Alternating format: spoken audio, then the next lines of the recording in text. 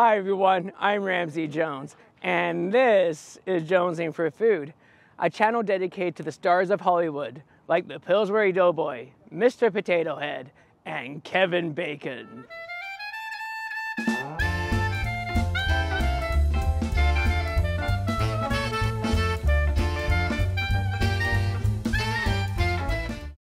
For breakfast, I'm going to the Pie Hole. It is a popular fast casual cafe and bakery in Hollywood. Here they serve delicious sweet and savory pies. I am taking my breakfast to the Hollywood sign. First, I drove to Canyon Drive and then I hiked up to the Hollywood sign with my pies.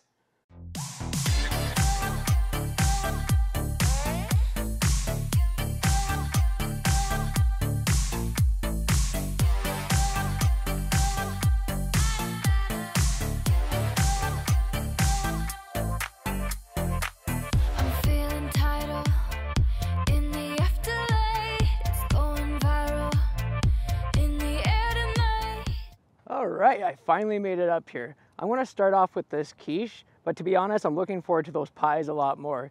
The only reason I'm eating this quiche is because I worked out a lot and I just did that big hike, so I actually need some protein. Uh, this one looks interesting. It has spinach in it too, so it's extra healthy.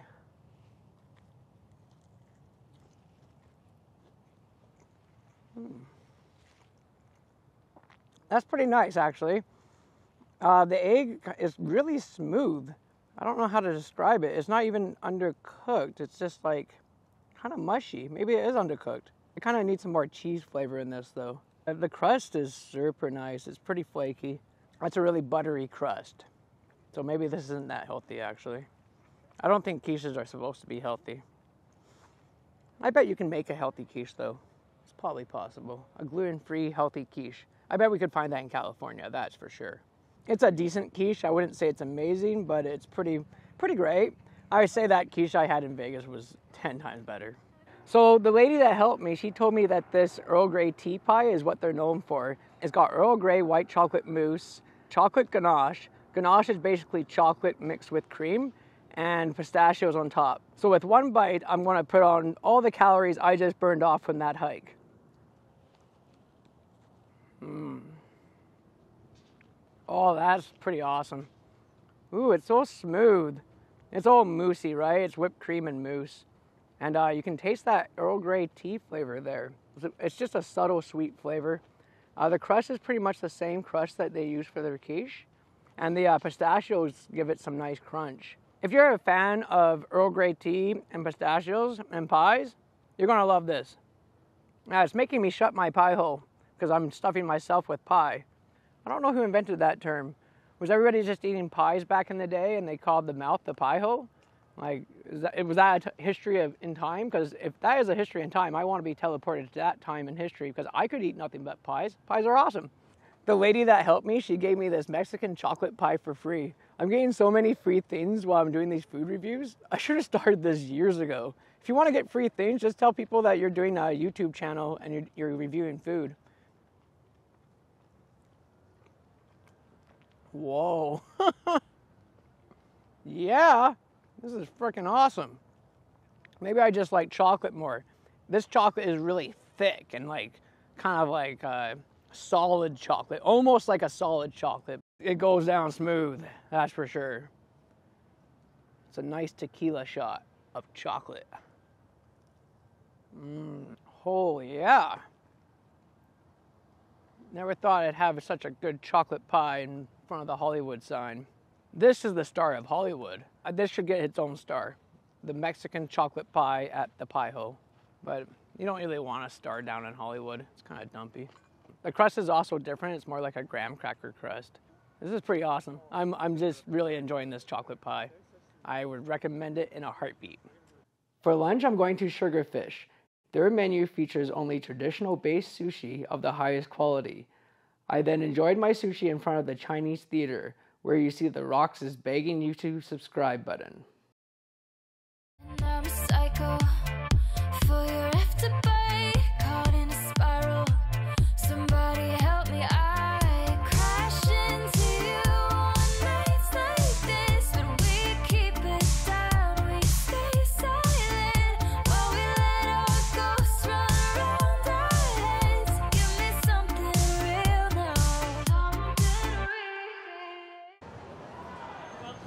Please go to the last box to your left.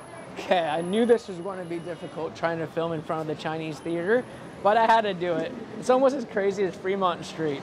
Anyways, look at the box that this comes in. It looks pretty awesome. It's so uh, organized. All right, I'm going to start with the nigiri sushi first, and then we'll go on to the rolls. Uh, let's try the least crazy. We'll try the salmon. Wow. That just disappeared in my mouth as soon as I put it in there.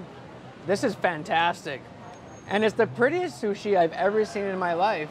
Just a subtle taste of salmon there. And the rice is, uh, you know, it's nice and sticky like it's supposed to be. They say the rice is what makes the sushi. And it makes this sushi pretty damn amazing. Wow. Another great piece of sushi. That was the shrimp nigiri I just had. Another very melt in the mouth type experience. And a subtle taste of shrimp there. We got the tuna nigiri sushi here. Nigiri sushi is what actually you find in Japan. You don't really find the rolls in Japan. It's kind of an American thing and Canadian thing as well. I actually prefer the rolls because they you, it has a lot more ingredients in them. Mm. Oh. This is some of the best sushi that I've ever had in my life. This is the Japanese yellowtail uh, nigiri sushi.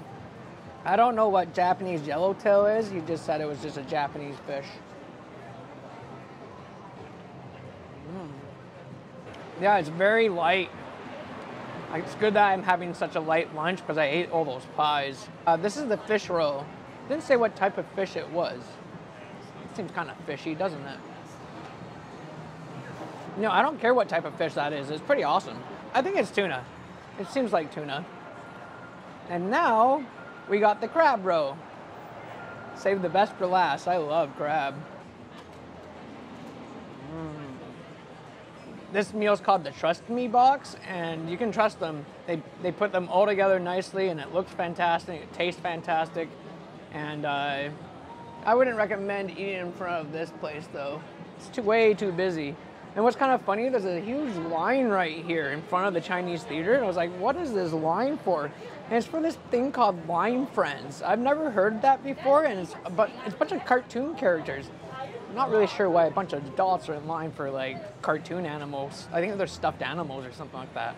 It's kind of weird. But then again, I do get dressed up as animals and things, so I'm one to talk, aren't I? These are uh, pretty normal. Nothing special about them and you get sashimi. Mm. I don't know. That was a little bit rubbery, actually. I don't know what sushi that sashimi that was. That was tuna sashimi. Not the best tuna sashimi, actually. Uh, I have nothing else to say other than don't come to Hollywood. Just kidding. For dinner, I'm going to Petit Trois. It is a popular French restaurant in Hollywood. I enjoyed my dinner at the restaurant, where you see the oh so beautiful like button. Give me, give me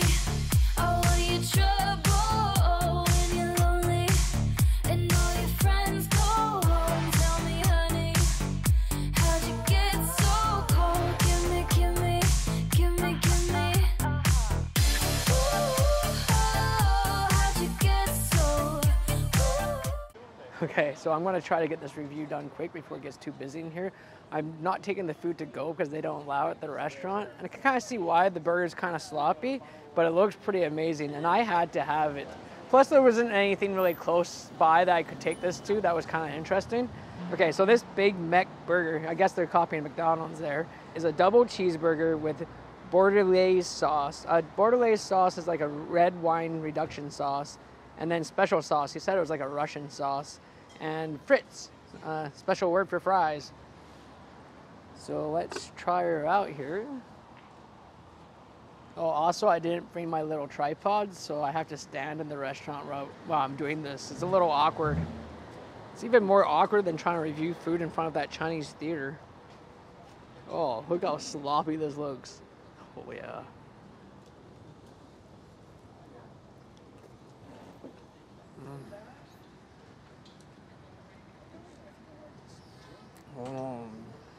Oh, that's just so, so decadent.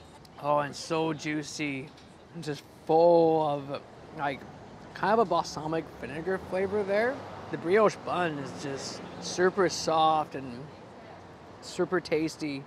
It's a very greasy burger, but you know me, I'm digging the grease. Oh man. you gotta have this when you come here. This is freaking amazing. The uh, patties are perfectly cooked. They're medium. They're really like juicy and full flavor. They give you a ton of cheese on here, which is awesome. Oh, and this sauce, it's uh, kind of tangy. By the way, these fries, they're really like high-end McDonald's fries. They're almost a bit better than McDonald's fries. They are better than McDonald's fries. Let's be honest here. Petit Trois. I gotta try some of the other stuff on the menu here. I gotta this. This is one of my favorites so far. I'm gonna give this a Jones score of 19 out of 20. Crash into me on nights like this, but we keep it down. We stay silent while we let our ghosts run around our heads. Give me something real now. I hope you enjoyed this episode. And remember the stars of Hollywood, like Ronald McDonald and the Cookie Monster, so you can keep jonesing for food.